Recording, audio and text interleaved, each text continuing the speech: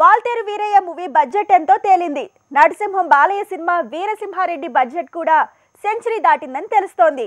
ఈ రెండు సినిమాలు హిట్ అయితే కేవలం టాలీవుడ్లో ఈ రెండు సినిమాలతో వెయ్యి కోట్ల లెక్క తేలబోతోంది. మాస్ మతిపోయే రేంజ్లో ఈ రెండు ప్రాజెక్టులతో బాక్స్ ఆఫీస్ బీట్ మారిపోయేలా ఉంది.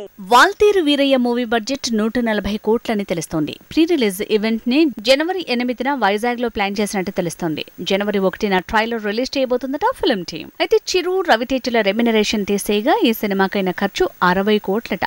ప్రమోషన్తో కలుపుకుంటే మరో ఇరవై కోట్లని తెలుస్తోంది.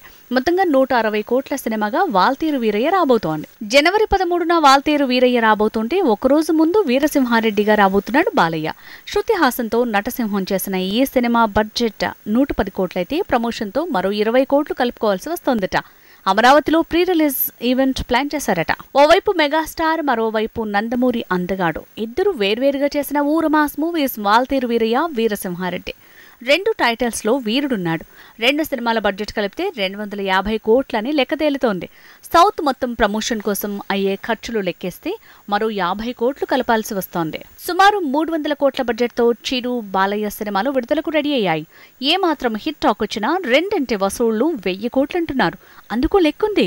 ఈ రెండు సినిమాల హిందీ డబ్బింగ్ రైట్సే యాభై కోట్లు పలకటం అందుకు మంచి ఉదాహరణ అంటున్నారు. వాల్తేరు వీరయ్య హిందీ డబ్బింగ్ రైట్స్ యాభై కోట్లు కన్నడ ప్రీ రిలీజ్ బిజినెస్ అరవై కోట్లు తమిళనాడు రైట్స్ ఇరవై ఐదు కోట్లు తెలుగు థియేట్రికల్ రైట్స్ డెబ్బై కోట్లు.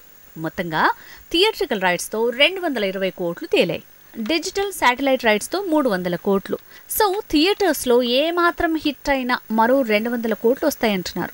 బాలయ్య మూవీ లెక్కలు ఇంచుమించు ఇలాగే ఉన్నాయి. కాబట్టి రెండు సినిమాలు హిట్ అయితే వెయ్యి కోట్ల పండగ వచ్చినట్టే అంటున్నారు.